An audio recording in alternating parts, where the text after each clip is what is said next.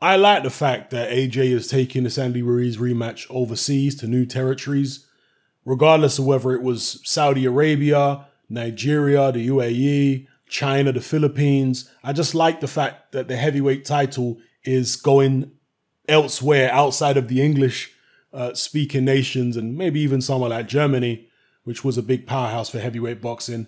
And it's going to new territories. I like that because I think it helps to grow the sport.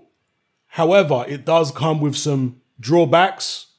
And one of the drawbacks potentially with AJ fighting anywhere outside the UK for this rematch with Ruiz is the pressure that's going to be on him to entertain. Because if the AJ Ruiz rematch is in the UK, the British public are going to accept a win from Anthony Joshua. Whether it's boring or exciting, they just want him to get his belts back at this point because the pride of British boxing has been hurt. And I'm talking about the fans, not just AJ. The pride has been hurt. So they just want AJ to get them belts back by any means necessary. If it's a boring win, it's a boring win. They'll take that. Okay, that's going to be the general attitude of, uh, of Anthony Joshua fans.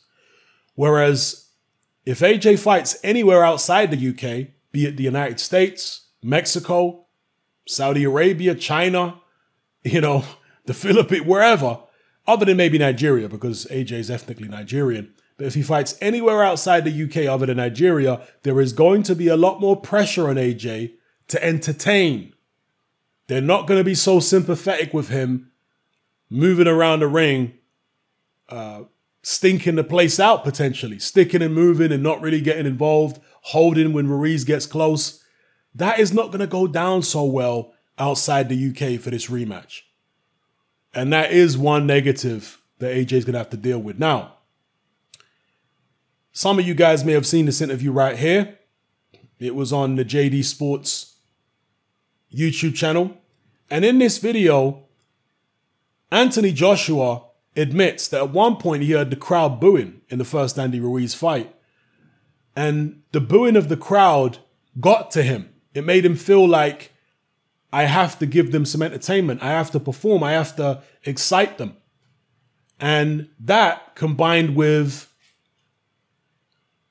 watching Deontay Wilder's destructive performance against Dominic Breazeale uh, a couple weeks earlier, those two things made him, according to what Anthony Joshua said, go in there and start being more aggressive against Andy Ruiz after them first couple rounds. He heard the boos and he was like, oh, you know what? I need to let my hands go. I need to get this guy out of here. And once he dropped Ruiz, he said he was thinking about what Wilder had done to Breazeale and trying to emulate that. And the rest is history. We will know, we will know what happened there. It was a critical mistake. And that shows Anthony Joshua's inexperience, truth be told. Because you should never allow the crowd or an opponent to get you off your game plan. And when I see an, say an opponent, I'm, I'm not talking about the opponent in the ring necessarily. I'm talking about a rival, in this case, Deontay Wilder. You should never let them get you off your game plan. If the crowd want to boo, let them boo. yeah, don't let them get, get you off your game plan. So that's an experience from Anthony Joshua's uh, perspective right there. And um, even Deontay Wilder himself said that he thought AJ was trying to live up to what he did a couple weeks previous against Dominic Breazeale. And Wilder was right about that. You know, I'm, I'm, sure that that played a part in terms of what AJ was doing in the ring.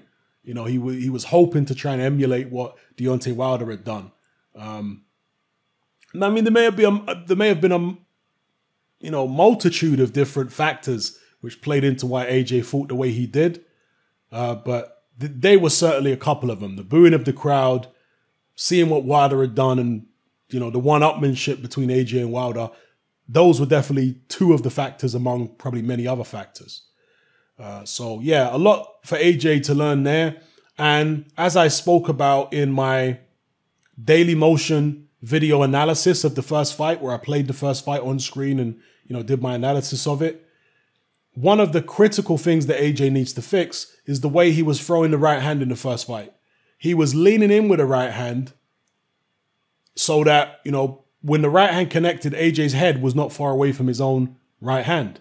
And that means that he's in the firing zone of Andy Ruiz. He needs to plant his feet, stay a bit more upright when he's at long range, and throw, you know, fully extend the right hand. Don't lean his whole upper body into it so much. It might not have so much power on it. Okay. But you need to be more technically aware and technically astute if you're going to avoid the counters from Andy Ruiz.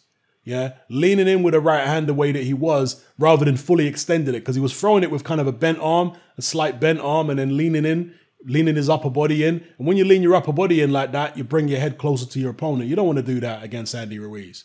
You want to throw the right hand, fully extend it from long range, and keep your head as far away from your opponent as possible when you're throwing that right hand.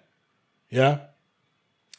More difficult to explain would be easier for me to demonstrate. but anyway, um, lots for Anthony Joshua to improve on going into the rematch from a technical point of view, from a mental point of view.